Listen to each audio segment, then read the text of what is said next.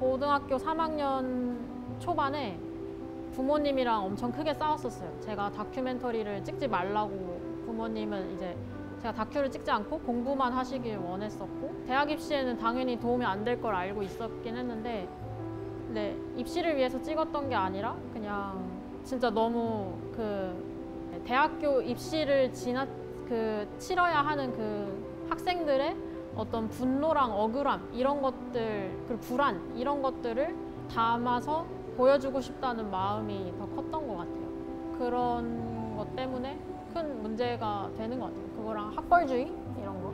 그러니까 가장 본질적인 거는 사실 그때나 지금이나 생각하기로는 공부를 하는 데 있어서 너무 큰 불안과 공포를 공포를 원동력으로 공부를 시킨다.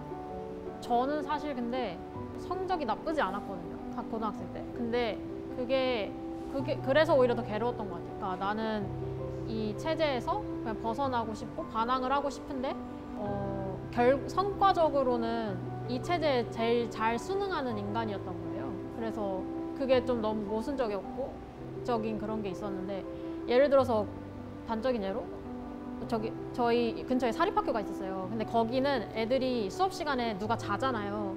그럼 안 깨워줘요 서로 친구들끼리 그냥 네가 공부를 안 해서 내가 더 높은 점수를 받을 거다. 뭐 약간 이런 식으로 이제 장난으로 주고받는 저희는 모두 다 그 시기를 거치는데 어떤 방식으로든 벗어나긴 하는 것 같아요. 너무 여러 가지 모습으로 그 운명에서 벗어나는 거죠. 뭐 예를 들어서 예를 들어서 그 잠자리라고 했을 때 어떤 잠자리는 그냥 거, 그 물에서 죽을 수도 있는 거고 또 어떤 잠자리는 그냥 날개가 찢긴 채로 탈출해서 얼마 못 가 죽을 수도 있는 거고 또 어떤 잠자리는 그냥 멀쩡하게 계속 탈출해서 오래 살 수도 있는 거고 약간 그런 것처럼 각자 다, 다른 방식으로 뭔가 어쨌든 그 순간 그 시기 그 고통스러운 시기를 맞췄던 것 같아요. 네, 저 저도 아무래도 제 이야기다 보니까 제가 직접 찍은 제 이야기다 보니까 힐링보다는 좀 한 시기가 끝났다라는 마무리를 한 느낌을 받았던 것 같아요. 이 영화가 마무리됐을 때 언젠가는 덜 고통스러운 순간이 올 거다라고 말을 할 수 있을 것 같아요.